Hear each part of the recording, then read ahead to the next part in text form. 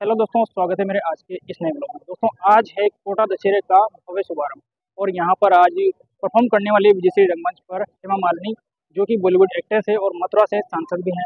तो आज उनकी डांस की जो प्रस्तुति है, आपको मैं इस ब्लॉग में दिखाने वाला हूँ और आप मेरे पीछे देख सकते हैं, काफ़ी ज़्यादा भीड़ यहाँ पर आज पहुँच चुकी है, क्योंकि आज दशहरे मेले का शुभारंभ है और आज से जो कोटा दशहरा है, वो परवान पर चढ़ने वाला है। तो चलिए दोस्तों, आज के इस ब्लॉग को शुरू करते हैं और दिखाते हैं आपको राष्ट्रीय दशहरे मेले का ये भव्य प्रोग्राम का कि आज का ये जो उद्घाटन है उन्हीं के कर कमलों के द्वारा होना जाना है।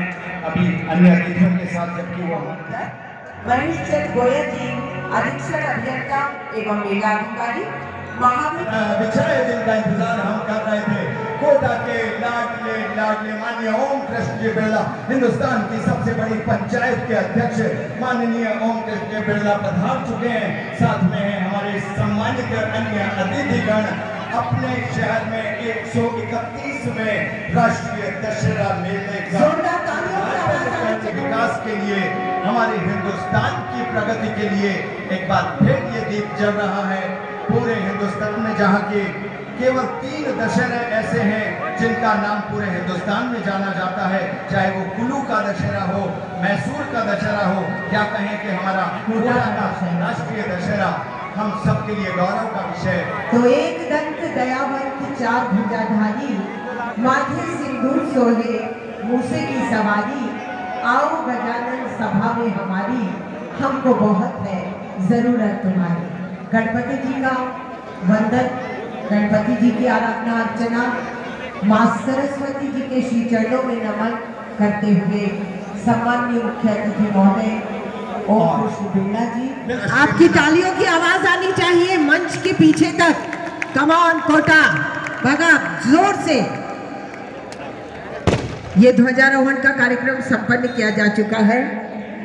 और पश्चात सभी अतिथिगण अपना स्थान ग्रहण करेंगे मंचासीन होंगे, और इस रामलीला का थोड़े ही क्षणों में शुभारंभ होगा। एक बार जोरदार तालियों से सम्माननीय मुख्य अतिथि महोदय का हमारे अन्य गणमान्य अतिथियों का स्वागत और अभिनंदन करें।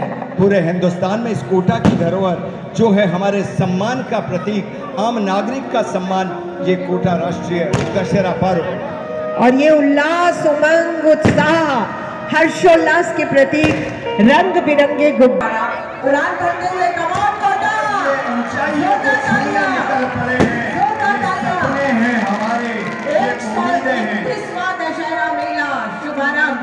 बहुत बहुत बधाइयाँ बधाइयाँ गणमान्य हमारे अतिथि महानुभाव को बधाइयाँ नगर निगम के प्रत्येक अधिकारी कार्मिक को बधाइयाँ आम नागरिक को इस राष्ट्रीय मेला दशहरा 2024 के आगाज़ की ये बधाइयाँ। और यहाँ मैं ये भी निवेदन शुक्रवार विक्रम संवत दो हज़ार इक्यासी दिनांक तीन अक्टूबर दो हज़ार तेईस को एक सौ इकतीस में राष्ट्रीय मेला दशहरा दो हज़ार चौबीस के उद्घाटन की घोषणा करता हूँ।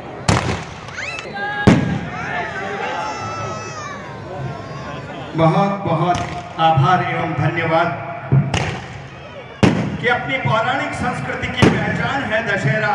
कोटा की धरती पर 131 हर कोटावासी का सम्मान है दशहरा। जी हाँ इस 131 में दशहरे